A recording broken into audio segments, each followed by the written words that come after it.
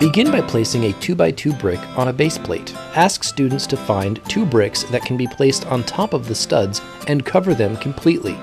Explain that this model shows that 4 can be divided into two sets, and each set has two studs. Demonstrate how to write a division sentence for this model. For the next part of this exercise, place a 2x4 brick on a base plate. Ask students to find four bricks that can be placed on top of this brick with no studs uncovered. The answer is four 1 by 2 bricks. Ask students what this model shows about these numbers. 8 divided by 4 equals 2. For the third part of this exercise, place a 1 by 6 brick on a base plate.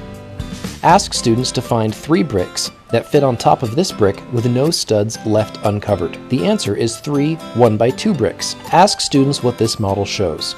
The model shows that 6 divided by 3 equals 2.